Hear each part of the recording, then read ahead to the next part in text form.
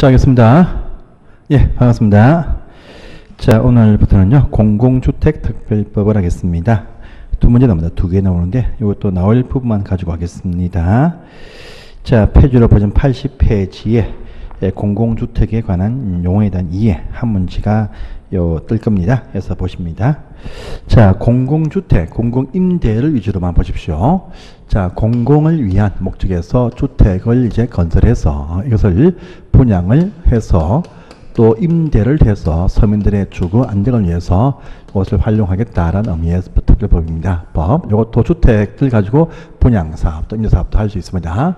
주택이 아니면 할 수 없다. 이것이 원칙입니다. 원칙인데 이 경우도 보시면 공공 목적의 임대나 분양을 위해서 준주택을 활용을 할 수 있게 해준다랍니다. 그래서 공공준주택이라고 부르는 것이 또 등장합니다.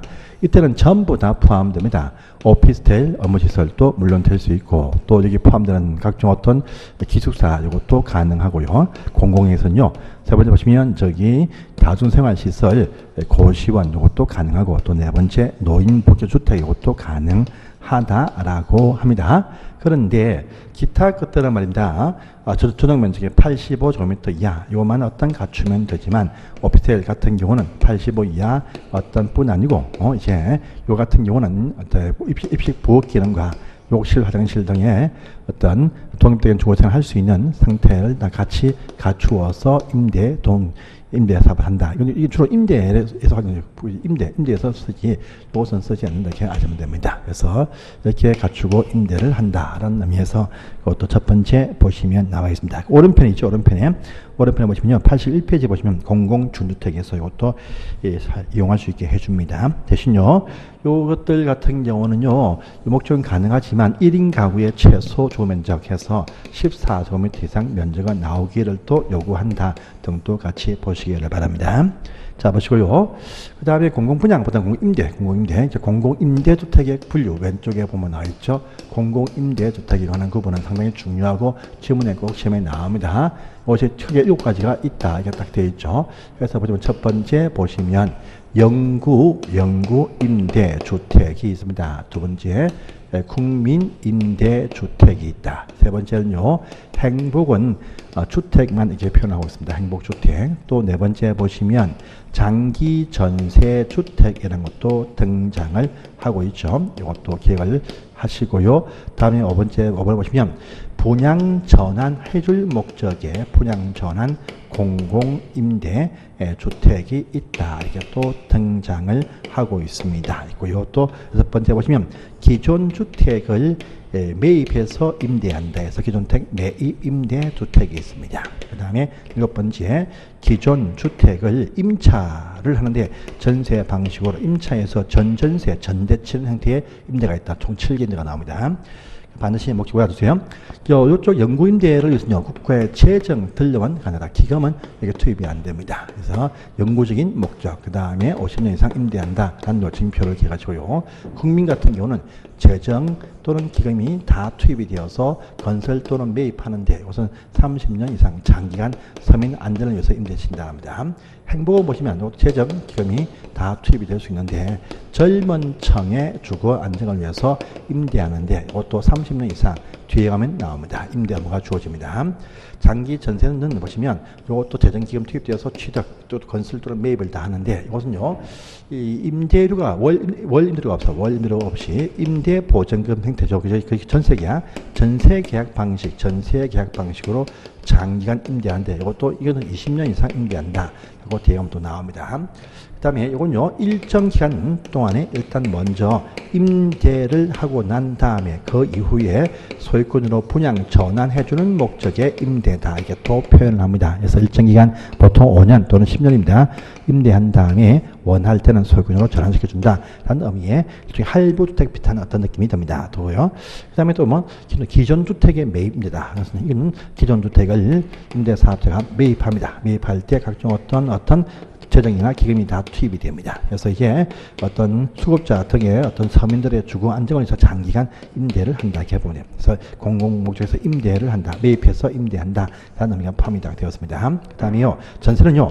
기존 주택을 역시 재정 기금 투입되어서 이건 임차입니다. 전세 계약 방식으로 임차를 한 다음에 어떤 전대하는 형태의 임대를 말한다. 임차에서 전전세, 전전 친다라는 의미가 딱 되어 있죠. 그래서 요한 반드시 시험에 뜰 거니까 확인을 꼭 해주세요. 중요한 사항입니다. 보시고요.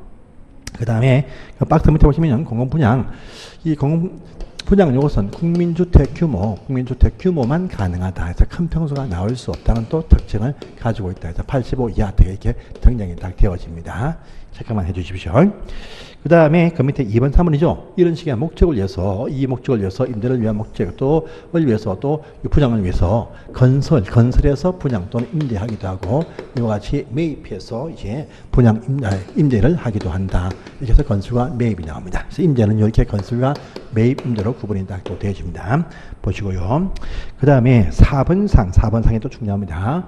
공공주택의 활성화를 위해서 공공주택 위주로 탄생이 되어지는 바로 공공주택 중심으로 건설되어지는 바로 공공주택 지구라는 것이 딱 나옵니다. 과거에 보시면 보금자리 주택지구라는 것이 바로 이것이다 이렇게 또 아시면 되겠습니다.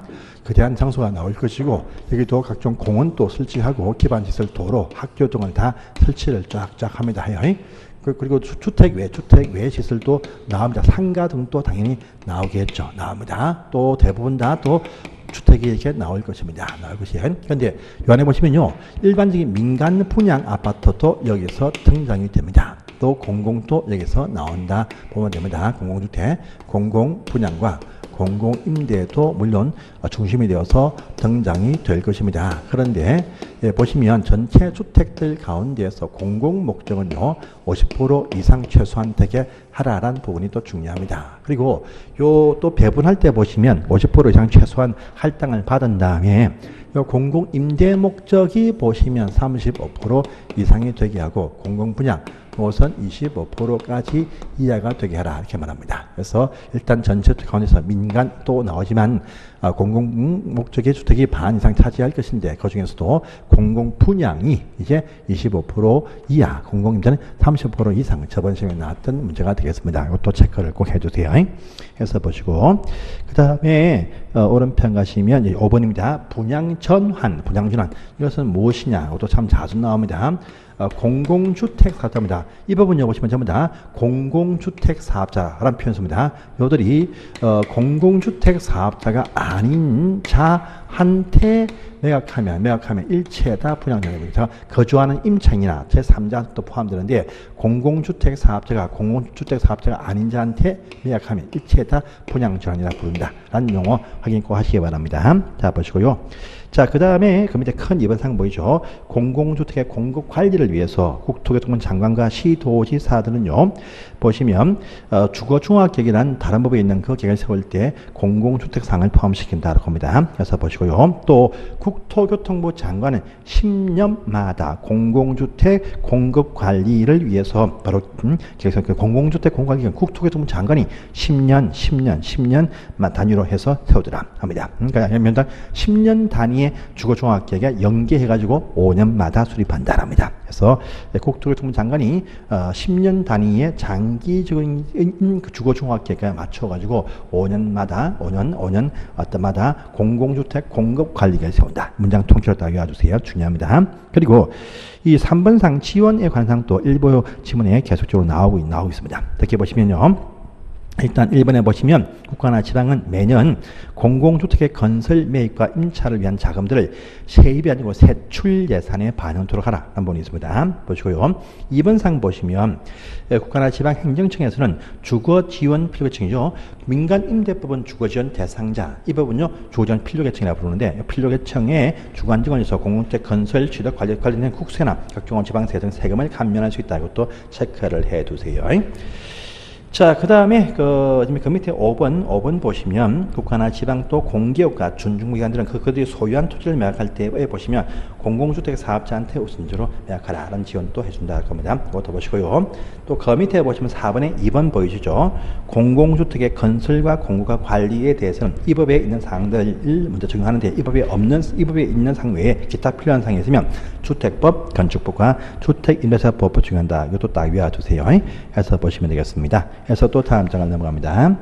자, 다음 장 보시면 이제 공공주택 지구라는 것이 나옵니다. 이것도 알아주십시오.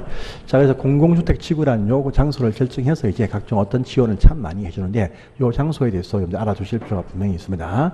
보시면 이 장소에 어떤 필요할 때 지지치는 지금 현재 정부에서 참 많이 하고 있습니다. 현재 정부에서 무슨 서울 옆에 왕숙 지구다 뭐또 해서 많은 장소에 지금 지정하고 있는데요.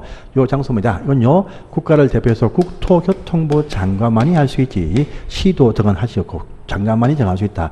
가십니다. 자, 그리고 이제 요 장소 지정하면 발표 합니다. 발표가 딱 되어지면요. 이쪽 지역에 바로 이 발표가 되는 순간부터 이 사업은요. 이 모든 앞으로 곧 뒤에 나올, 곧 뒤에 날 모든 시행자들한테 강제 토지 수용권을 막 줍니다. 그래서요. 이때부터 공익 사업 인정이 되어서 이때부터 수용권이 발생한다 보시기 바랍니다. 또 해당 그 지역이 이제 도시 지역이 되어서 개발을 하게 된다. 이런 식의 언도 포함되고 또 역시 이 경우도 지구 단위 구역 결정이 딱 되어서 이제 개발을 하게 된다 등의 의미고 이것만 알아두시면 됩니다. 자, 그러면 그 위에 요 장소의 개발 사업을 시행한 사가 누구냐 해서 시행자인데 공공주택 사업자, 공공주택 사업자죠.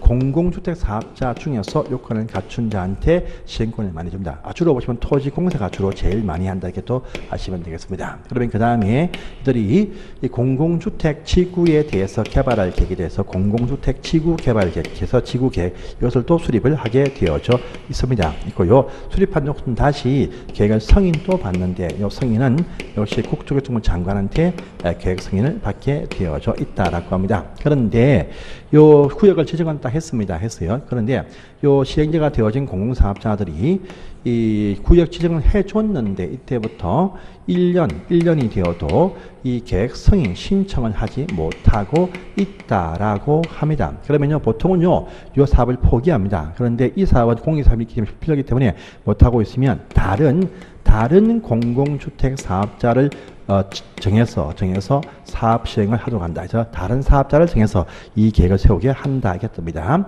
그리고 또 승인 딱 되어지면 이와 같게 사업에 착수가 필요 착수. 이좀 빨리빨리 사업을 좀 해, 해야 될 필요성이 있습니다. 착수가 필요한데 승인해주면 2년 안에 착수해야 됩니다. 근데 착수를 못하고 있다랍니다. 그럼 이 경우도 다른 사업자 정해서 사업을 시행을 하게 한다 하겠습니다. 그래서 요, 어, 어, 구역 지정하면 1년 안에, 안에 계획의 승인 신청이 필요하다. 못하면 사업자 바꾼다. 또 계획이 승인되어서 확정이 되었다. 착수를 못한다. 2년 되어서 못한다. 사업자 바꾼다. 이것이 제일 중요한 사항입니다. 일단 보겠습니다. 그래서 1번 보시면 국토교통부 장관이 지정한다. 1번 딱 되어 있죠. 그리고 또 2번 보시면 이 사업자, 이 공공주 사업자들이 해달라 이렇게 지정 제안을 해서 또 많이 하기도 한다. 제안을 할 수가 있다. 등 또 그게 나와 있습니다. 또 보십시오. 자, 그 다음에 3번 보시면 3번 상, 3번 상. 요 장소 정할 때 보시면 요 고시하기에 앞서가지고 다른 기관과 협의합니다. 협의도 하고 심의해서 발표 이렇게 고시합니다. 고시하는데요. 요 심의할 때는 대부분 다 도시 계획입니다. 도시 계획위에다 심의한다. 이것이 원칙입니다. 그런데 요 시간이 아주 많이 걸립니다. 그래서 요전 단축을 좀 하기 빨리빨리 하게 하기 위해서 요 심의하는데 해당 그 장소가 어디냐? 주거 지역이라는 어떤 주택 중심 장소 안에서 면적의 10만 제곱미터 이하가 된다랍니다. 그러면 이때는요 규모가 작기 때문에 요 심의라는 것을 하지 않고 할 수가 있다 해서 심의를 안 할 수 있다. 라는 말도 보입니다. 또 보시면 그 지구 면적이 여기 보면 10만 이지만 10만 제곱미터 이상 딱 되어 있죠. 이거 지워주십시오. 10만 이상이 아닙니다. 이거 오타입니다. 오타 10, 음, 10, 10 제곱킬로미터입니다. 10제곱 킬로미터. 10만 이상, X 하시고요. 10제곱 킬로미터 이상이 딱 되어지면 이것은 일반적인 도시 계획이란 전문가 집단이 아니고 정치인들 집단, 바로 국무회의, 요 국무회의의 심의 통해서 장소 지정할 수 있다. 라고 합니다. 그래서요, 거기 책에 보시면 좀 10, 10, 10 만 제곱미터인데, 거기 오타입니다. 오타. 10만 제곱미터 지우시고, 10제곱 킬로미터 이상이 되는 아주 가로, 세로, 가로 1km, 세로 10km, 거대한 장소죠. 이런 장소 장소에 필요할 때에는 국무회의 심의 통해서 이것을 확정해서 결정할 수 있다 하지 요 일반적인 도시계획 심의를 안 거치고 또 10만이 안 되면 도계획 심의도 하지 아니할 수 있다라는 부분도 그게 같이 체크를 꼭 해두세요. 이것들 보시고요. 그 다음에 또 큰 2번 보시면 이런 장소를 결정했다가 또 사업을 어떤 이유로 완성이 되어서 또는 지연이 되어서 요 주택 지구를 해제입니다. 해제, 보류한다. 해제를 하는 경우도 있습니다. 근데 그 면적이 330만 제곱미터 100만 평 이상이 딱 된다라고 할 때는요. 이쪽에 난개발이 또 유입이 될 수 있다. 이것을 막기 위해서 이 장소는요. 최대 10년까지 범위 안에서 특별히 관리해보자 해서 특별 관리 지역으로 지정해서 해당 그 장소를 이제 어떤 계속적으로 관리를 할 수가 있다라고 합니다. 국토교통부 장관이 지정을 하게 되어져 있다라고 합니다. 그러면요, 특별 관리 지역 관리 계획이란 계획을 딱 세워서 여기에 준해서 이제 관리를 하게 되어져 있는 것이 바로 절차가 된다. 특별 관리 지역 관리 계획을 세워서 이것을 관리를 하게 되어져 있습니다. 자 보시고요. 그 내용이 또 이어서 지금 이번에 1번 상과 그 다음에 2번 상을 체크하시고요. 그 다음에 그 4번 상 보시면 특별관리지역 관리계획, 아, 특별관리지역 지원센터, 지원센터라는데 요 지원센터라고 하는 것은 해당 그 보시면 시, 도지사 또는 시군구청에서 이것을 설치하더라까지도 체크를 또 해주세요. 해서 보시고 넘어가십니다. 다음에 오른편을 가보십니다. 자, 그러면 공공주택 사업의 시행자가 뜨는데요. 보시면 아까 있었죠? 1번 보시면 요 지구 지정을 제안을 한 자한테 우선적인 시행권을 줄 수도 있다라고 하는 부분 또 체크하시고요. 그 다음에 2번 보시면 아까 했습니다. 주택 지구 지정을 고시했는데 이때부터 1년 되어도 지구 계획에 승인 신청을 못하면 사업자를 바꾼다고 했었죠. 그것이 나오고요. 또 지구 계획 승인 딱 되었다. 근데 착수를 이런데도 못하면 또 사업자를 또 바꾼다. 두 번에 걸쳐서 사업자를 바꾸어서 사업하겠다라는 의미가 포함이 딱 되었죠. 그래서 그 밑에 3번에 보시면 2번과 3번 별표하시고 가지고 중요하니까 체크를 꼭 해주세요. 자, 그 다음에 그 밑에 갑니다.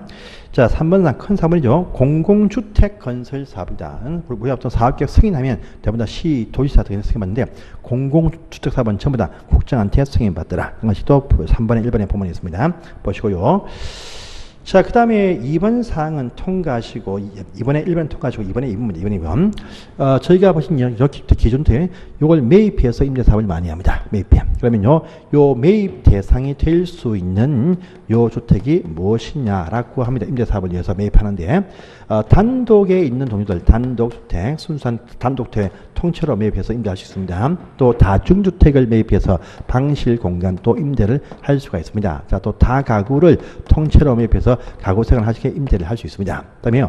공동주택에서 세대 몇 개 매입해서 임대를 할 수 있는데요. 공동주택을 매입할 때는 한 동을 다 매입을 못하니까 요 안에 세대 몇 개를 매입해서 임대를 합니다. 이때 보시면요. 공동주택일 때 매입 대상 그 주택 규모가 또 제한됩니다. 그래서 85제곱미터 이하, 이 바로 국민주택 규모의 어떤 범위 내에서만 매입 가능하다. 그건 또 보입니다. 그래서 그것도 보시면 그게 보이시죠? 체크를 꼭 해두세요. 자, 그 다음에 또 한 장을 또 넘어가십니다. 다음 페이지 갑니다. 에 보시면 5번 상입니다. 왼쪽에 5번 상. 기존 주택을 임차, 전세 방식으로 하는 바로 전세 임대가 따겠습니다. 그러면요, 요 주택을 임대할 때 임대 대상이 또 있다라고 합니다. 전부 다 보시면 조정 85제곱미터 이하만 임대하라고 제안합니다. 하지만 여기도 또 예외가 또 나옵니다. 나와요. 첫 번째 보시면 다섯 명 이상 사는 어떤 가구 생 가구 큰 어떤 어, 좀 식구가 많은 가구를 위해서 큰 평수가 필요하다. 또요 미성년 자녀 세명 이상입니다. 세명 이상 미성년 자녀가 세명 이상이다. 태아도 포함한다. 태아도 포함합니다.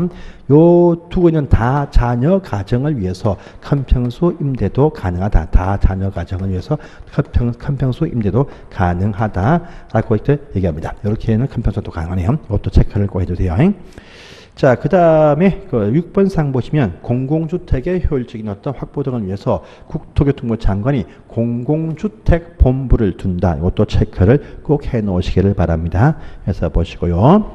그 다음에 4번 상 갑니다. 공공주택의 공급과 운영관리 딱 보이죠? 1번 딱 보시면요.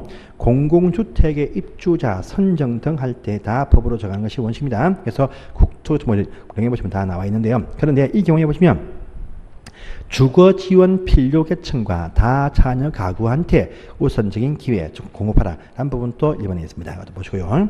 그 다음에 어, 다음 장을 또 넘어가세요. 다음 페이지입니다. 85페이지 가보시면 이제 큰 2번 상이 또 중요하죠. 공공주택의 운영관리 상이 또 중요합니다. 첫 번째 1번 보시면 공공주택의 임대 조건은 시험에 자주 나옵니다. 그래서 공공임대주택에서의 임대 조건이 나옵니다. 나와요. 보겠습니다. 자, 공공임대에서의 임대택, 공공임대, 주택일 때의 임대 조건은 또 무엇이냐라고 하는 부분도 참 중요한 상입니다. 어, 임대택의 임대 조건이 이라는 조건, 임대 조건, 임대 조건을 하면 첫 번째 보시면 일단은 어, 임차인, 임차인의 선정 문제가 등장을 딱 합니다. 두 번째 보시면 임차인한테 받는 임대료의 결정이 또 등장을 한다. 이게 또 두 가지 나누어서 보시면 되겠습니다. 공공임대란 말입니다. 임차인 선정은 전부 다 국토교통부령으로 정한다. 법, 에서 각종 어떤 요건을 부여합니다. 집이 없을 것이고 소득이 작은 분들 위주로 법에 절개합니다. 일단 그만하시고 가면 되는데 임대료는 임대료, 임대료의 것입니다. 이때 최초로 받는 공공임대에서의 임대료입니다. 이것은요, 국토교통부 장관이 매년 발표한다. 무엇을? 표준 임대료라고 하는 것을 매년 이것을 정해서 고시를 하면 그것을 넘을 수 없다. 그 내에서만 딱 어, 금액을 결정합니다. 그것이 원칙입니다. 그런데 여기도 보니까 표준 임대료에 예외가 있더라 합니다. 그래서 무엇이냐니까 첫 번째 보면 공공임대도 규모가 큰 85를 초과하는 임대가 나올 수 있다. 초과 임대도 될 때 그렇다 합니다. 두 번째 보니까 자, 우리 임대료면 있습니다. 임대료면 이 속에 보시면 월 임대료가 여기에 포함이 딱 되어 있고 임대 보증금을 합한 말이다. 이렇게 여러분들이 아시면 됩니다. 돼요. 그런데 음?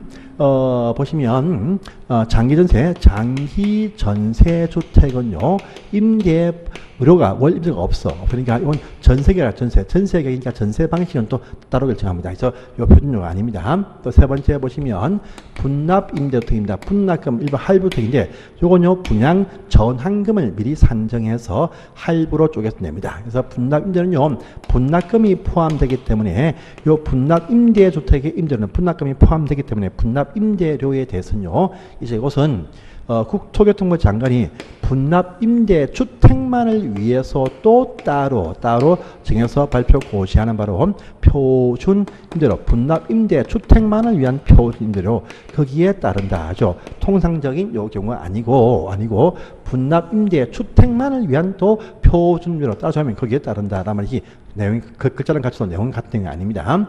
또 네 번째 보시면 기존 주택의 매입인데 요 기존 헌주택을 매입한다. 요걸 매입해서 임대하는 요 주택은 서민을 위해서니까 싸게 사게 조건을 정하겠다. 그 한 것도 나옵니다. 나와요. 일단 그 내용을 1번 본문 알면서 아시고요. 그 다음에 그럼 이제 3번과 4번 보시면 나옵니다. 장기 전세주택에서 받는 최초의 전세금 형태의 임대료. 이것은 말입니다. 그 주변의 두세 개 단지에서 받는 같은 동형평수의 평균 전세 금, 요 평균 어떤 전세금 가운데서 80%, 요 80% 범위 내에서 최초로 결정을 한다. 이게 또 제한합니다. 하고요. 그 다음입니다. 그 밑에 또 4번 보시면 기존 주택을 임대하죠. 임대. 요, 어딘가, 매입, 매입, 매입, 매입. 매입해서 임대를 하는 요 경우는 말입니다.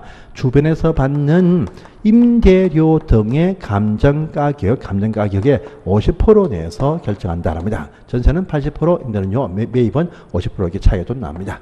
꼭 보십시오. 그 다음에 또 올라가서 2번입니다. 2번. 그 2번에 2번, 뭐 2번, 2번. 동그라미 2번 딱 되어 있죠. 그래서 보시면 자, 우리가 저기 임차인이 동의를 합니다. 임차인이 오케이라고 동의합니다. 그러면요, 요 임대료와 임대보증금은 상호 전환한다. 상호 전환을 해서 임대료를 정할 수가 있다랍니다. 그러면요, 보통은 임대보증금을 올리고 원리비를 낮추게 됩니다. 그러면요, 임대보증금이 많아지면 요, 요, 한데 요 보증금의 어떤 합산 금액이 어, 초과 어떤 상한선이 있다라고 합니다. 상한선이 있어요. 이 임대주택의 전체 초기 땅값 포함해서 전체 단지에서의 건설 원가가 나올 거죠. 건설 원가. 요 건설 원가에서 말입니다. 요 주택을 짓기 위해서 기금 주택도시기금 요 투입을 하는데 여기 받은 요 융자금 있어요. 융자금. 요걸 뺀 금액, 뺀, 요 뺀 금액, 요 뺀 금액입니다. 뺀.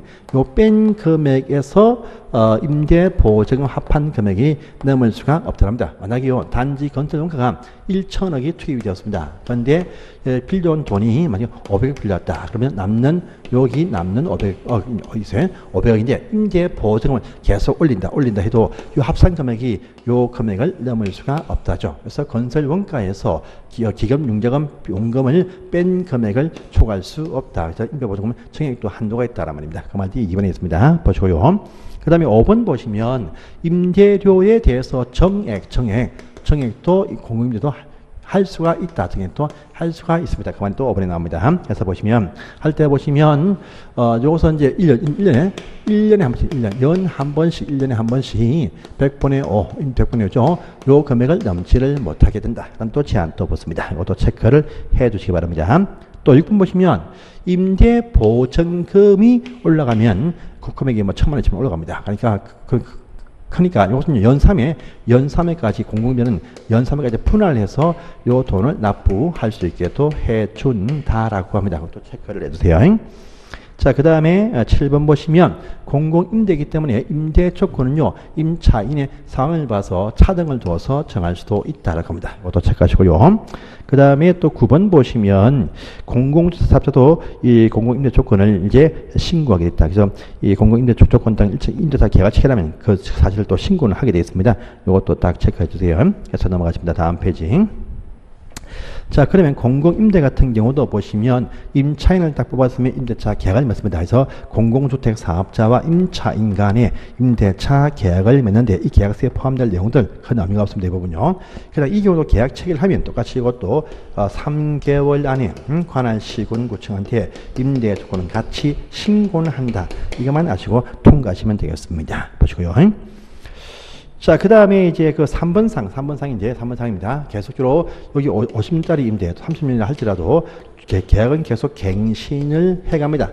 이때 갱신해갈 때 중간에 계약 갱신을 거절하는 경우도 발생한다가 있는데 이건 잠시 또 10분은 쉬었다가 하도록 하겠습니다. 10분 쉬겠습니다.